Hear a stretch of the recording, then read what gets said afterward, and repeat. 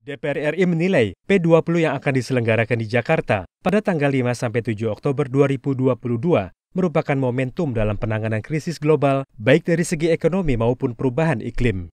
Ditemui di Gedung Nusantara 3 DPR RI Jakarta baru-baru ini, Ketua Badan Kerjasama Antar Parlemen DPR RI Fadlizon menegaskan, pertemuan P20 merupakan penguatan diplomasi DPR RI terhadap negara yang tergabung dalam Government 20. Ia menambahkan, saat ini seluruh negara masih berjuang memulihkan kondisi ekonomi sosial pasca pandemi COVID-19.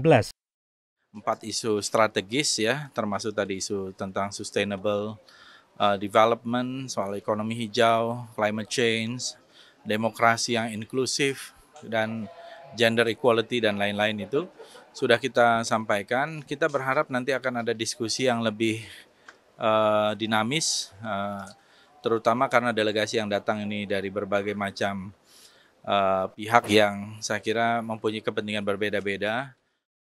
Sementara itu, anggota PKSAP DPR RI Putri Komarudin berpendapat program ekonomi hijau dan ketahanan pangan serta energi merupakan prioritas utama guna mencegah terjadinya pelemahan ekonomi global dan peningkatan angka kemiskinan. Eh, dan yang kedua tentu yang tidak kalah penting adalah terkait dengan ekonomi uh, yang berkelanjutan.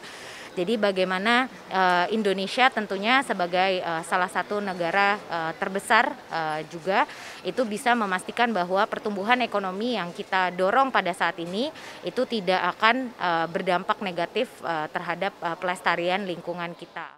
Saat ini telah dikonfirmasi sudah ada 21 ketua parlemen, 10 wakil ketua parlemen, dan 25 anggota parlemen yang akan hadir dalam P20 mendatang. DPR RI telah siap secara keseluruhan dalam penyelenggaraan P20 di Senayan, Jakarta. Hilman dan Temi, TVR Parlemen melaporkan.